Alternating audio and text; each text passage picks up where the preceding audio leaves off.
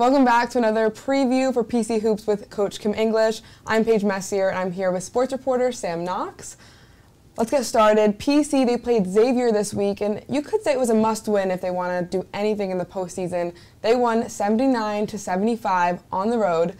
Sam, how big was that win? Huge. Uh, they lost to Xavier at home, um, and it wasn't by a small amount. So to win against them on the road, to really show some some guts. And Kim English has just done a fantastic job with this team. He continues to show that. Jayden Pierre was great. Um, he had a season high for points. So it's just it's a huge win, a huge confidence booster. It gets into two games over 500 in Big East play, uh, and it comes at a good time here. Now they have a break. Uh, for they get six days off with no game uh, as they prepare for Marquette on Wednesday um, this next upcoming Wednesday. So no games this weekend for the Friars. So a huge a huge win for them. They get to go back look at some good film that they put up against Xavier on the road.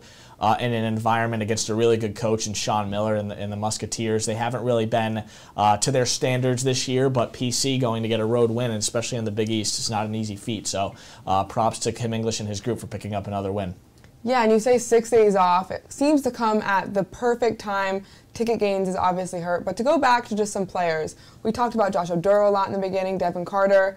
Now we're hearing more names. Jayden Pierre, ticket gains. He had a huge block at the end of that game. How big is it to just get more players involved? Now we're hearing different names, not just those two top ones all the time. It's massive, and it, and it kind of creates a little bit of a mystery for the other team when they don't know who's really going to get the ball. Of course, Devin Carter and Josh Oduro are going to get the majority of the touches, but when you have other weapons outside, like Pierre, like Gaines, um, and hopefully once Ticket gets fully healthy, he can contribute just a little bit more like he did a little earlier in the season. But when you have guys that can really score and different guys that can score, um, let's take the Villanova game on the road, for example. Only four guys scored in that game. So Villanova knew what you were coming in with, and it was Devin Carter, Josh Oduro, essentially. So when you have Jayden Pierre really stepping into some shoes of, hey, I can be the scorer, um, and I can be a scorer consistently, um, especially um, as, as a point guard and a leader. He wants to be a leader of the team, a leader on the court. The point guard is essential for that. So um, it takes a little bit of weight off Devin Carter and Josh Oduro's shoulders when you have another guy that can really score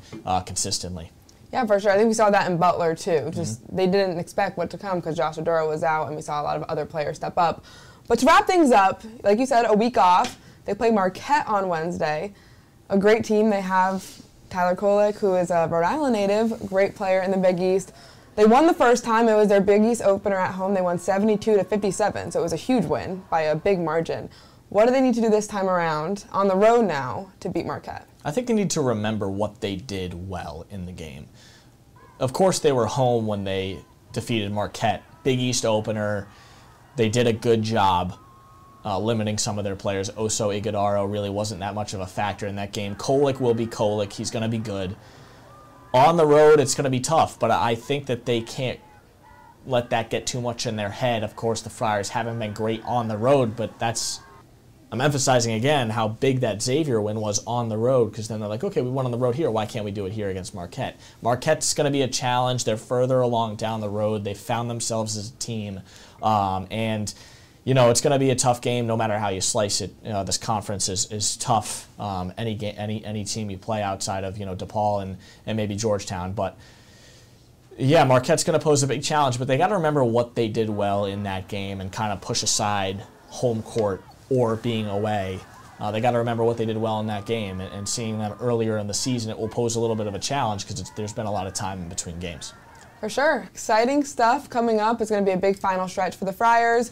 You'll see a recap of the Xavier game and also a preview to Marquette on Sunday at 10:30 on PC Hoops with Coach Kim English on Fox Providence. Thank you, Sam. Pleasure.